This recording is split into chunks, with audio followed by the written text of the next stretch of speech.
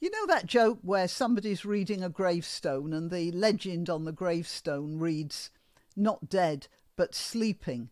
And this guy looks at it and says, That chap isn't fooling anyone but himself. Well, that's what's happening with the Labour Party.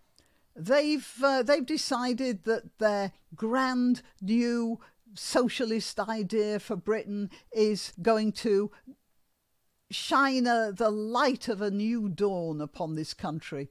A new dawn where everyone is equal and even, and everyone gets a fair wage, and more of that later, and we're all multicultural and love each other. And then they discovered that it doesn't really work out like that. I'm Granny. I'm on YouTube, Rumble, BitChute, and Minds.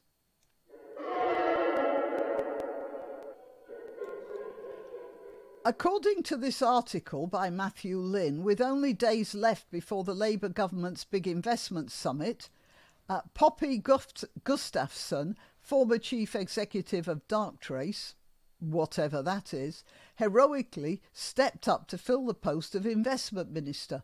So they organised this grand investment summit, which was going to be like a sort of party for businessmen. And they didn't even have an investment Minister. The organisation of the summit has been chaotic and it's been overshadowed by the tax rises looming in the budget.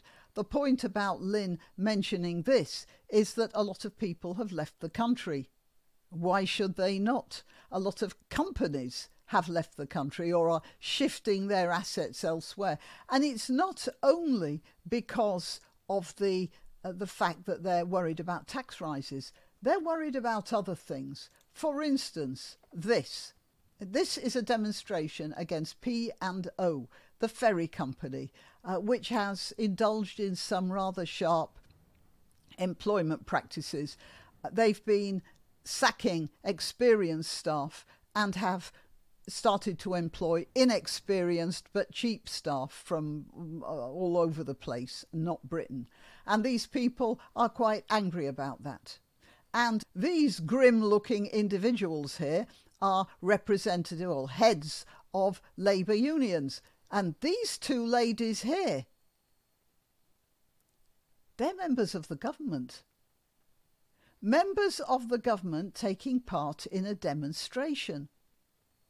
And they're demonstrating against P&O, which was going to finance a scheme called the London Gateway a new big port complex, which would uh, make the uh, shipping of goods between Britain and the continent uh, far more easy.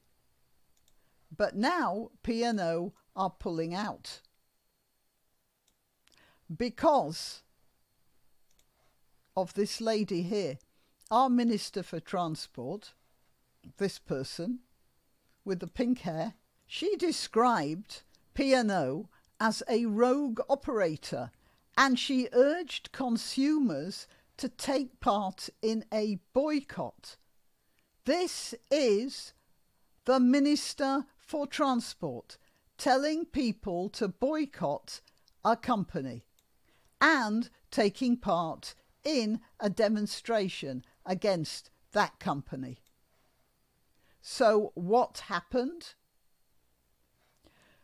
Sultan Ahmed bin Sulayem, CEO of DP World, will no longer attend Monday's investment summit.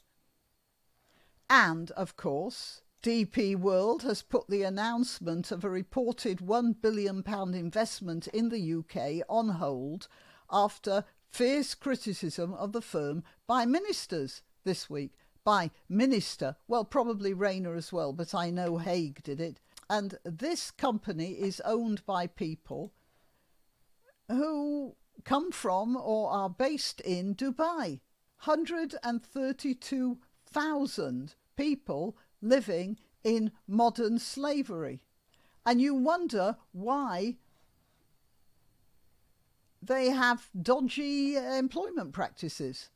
At the same time, Qatar announced it was selling a £306 million stake in Sainsbury's, citing the uncertainty around the upcoming budget for falling sales. You see, because when the, the government are, are, going to tax the middle classes, they'll stop buying stuff from Sainsbury's and head out to Aldi or or whatever. This government is a bunch of student radicals wrecking the economy of this country. Well, I'm sorry I couldn't bring you better news on a Saturday weekend when you should be enjoying yourself. I could try a grin, but it would look more like a grimace of pain because that's what it would be. Till next time. You can help my channel by subscribing and clicking the notification bell. That's quite important. And by sharing if you're so inclined. Links to my other channels and to donation methods are in the description. But the best way you can help is simply by clicking like and notify. Thank you.